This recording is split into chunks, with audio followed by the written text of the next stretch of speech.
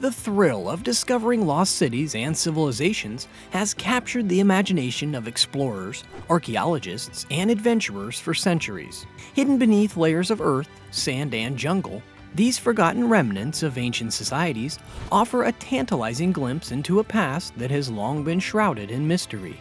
From the towering temples of Angkor Wat to the sunken ruins of Atlantis, the quest to uncover these lost worlds has inspired countless journeys of discovery, unlocking secrets and treasures that have been hidden for generations.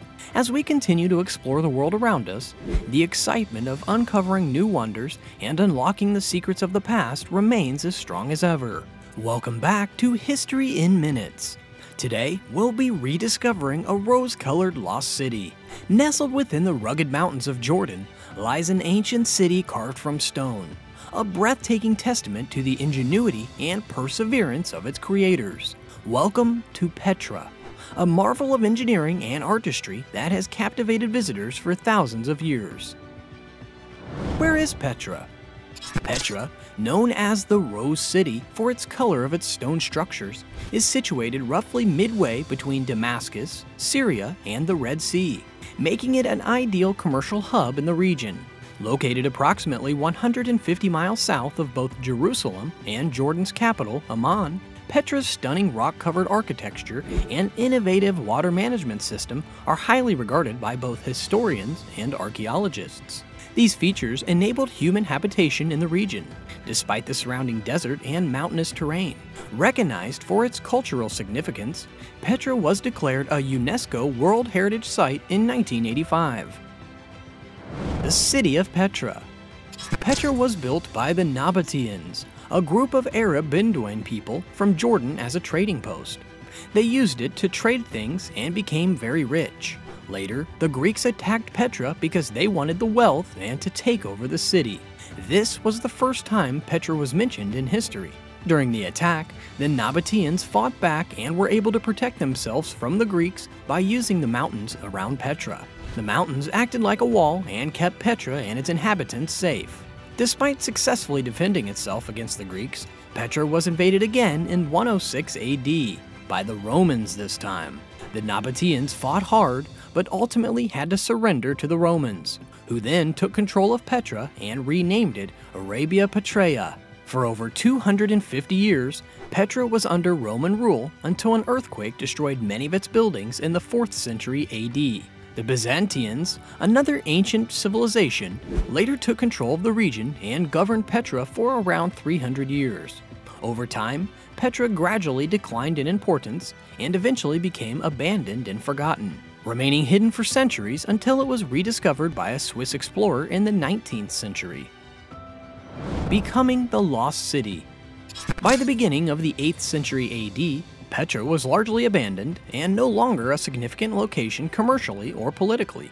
Although no longer an important city, Petra has been noted by historians and archaeologists for its unique architecture, as well as a specific innovation made by the Nabatean Bedouins that established the city. Given the rugged mountainous terrain that surrounds it, Petra wouldn't seem like a logical place to build a city. However, the Nabateans took advantage of this geography as they erected its key structures. The Nabateans used an early form of rock-cut architecture to create many of Petra's buildings by carving them out of the surrounding stone surfaces. As different cultures, such as the Romans and the Byzantines, occupied the city, they also left their marks on Petra's architecture. The Nabateans built large and ornate tombs, which were eventually replaced by Christian churches constructed by the Byzantines. The Romans, who ruled over Petra after the Nabateans, built the Petra Roman Road, which became the city's main thoroughfare. They also constructed ornate gates in a Roman style to mark the entrance to the city. Some of the most famous architecture in Petra consists of ones carved out of the red stone in a classic Greek style. The treasury, Al Khazneh, stands at 39.6 meters high and 28 meters wide. Built in 56 BC by the Nabateans, it is considered one of the most famous masterpieces. For years, the treasury's purpose was a subject of debate, but recent research has shed new light on the matter. Contrary to popular belief, the treasury was not a temple, but rather a royal burial site. Scientists have discovered four graves, believed to belong to a king and his family dating back to the last century BC and the 1st century AD. It is possible that the site contains the grave of Aretas IV Philopatris. The building of the treasury only took a few months, demonstrating the remarkable skill of its creators. There's also the Nabatean Amphitheater.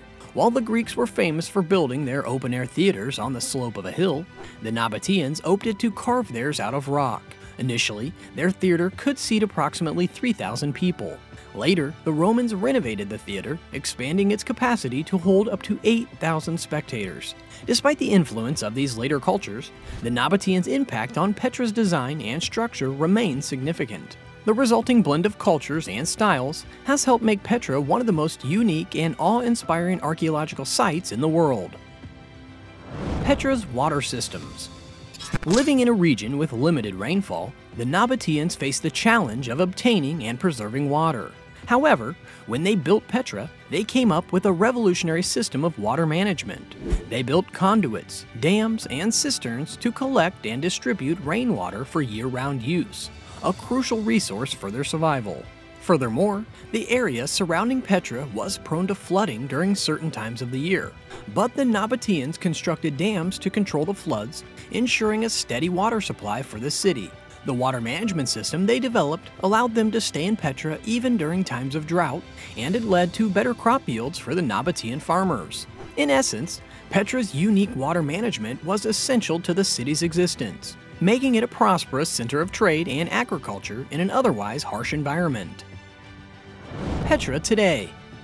After the Nabateans abandoned Petra as a trading center, nomadic shepherds used its stone structures as shelter for several centuries.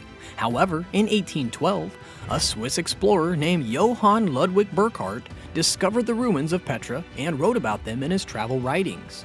This discovery brought attention to the unique ruins, and they soon attracted the interest of architects and scholars from around the world.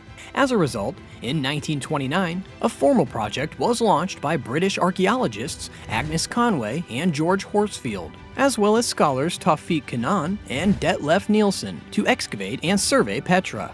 Petra has been the subject of numerous discoveries and research efforts in recent decades. In 1993, a collection of Greek scrolls dating back to the Byzantine period was uncovered, shedding new light on the city's history. A number of 152 rolls of burnt papyri were discovered in the old Byzantine church in Petra. Initially, archaeologists were discouraged due to the fragility of the deep black scrolls, which were embedded in burnt debris. However, a protective crust had formed, which preserved their shape even when broken into fragments. The ink that was still intact on a few pieces of papyri helped date the Petra scrolls to the 6th century. The archive contains documents from 528 AD until the reign of Tiberius Mauricius, who reigned from 582 to 602 AD. Out of the rolls excavated by the American Center of Oriental Research, 23 had partially continuous text segments, and 19 had fragments with substantial information. The burnt papyri revealed that Petra was not entirely destroyed by an earthquake in 551 AD, as previously believed but rather remained a prosperous city throughout the 6th and 7th century. The majority of the papyrus rolls deal with property transactions such as sales, bequests, dowries, and property divisions. These transactions concern vineyards, sown land, orchards, apartments, and stables, providing insight into the world of well-to-do landowners, church officials, soldiers, and other officers. The scrolls provide a glimpse into the daily life and the society of the people living in Petra during that era. More recently, satellite imaging has revealed a large, previously unknown structure buried beneath the sands in the area. Petra's importance as a cultural and historical landmark was officially recognized in 1985, when it was named a UNESCO World Heritage Site. However, this designation has also led to the forced relocation of the Bedouin tribespeople who had been living among the ruins. In the early 2000s, Petra was named one of the seven new wonders of the world, drawing a surge of tourism to the area. While this has provided an economic boost to the region, it has also raised concerns about the impact of heavy tourism on the fragile ruins. As a result, efforts have been made to limit tourism and protect the site from environmental damage, such as floods and erosion. That's it for today's video. If you learned something new, don't forget to like and subscribe for more content worth your every minute.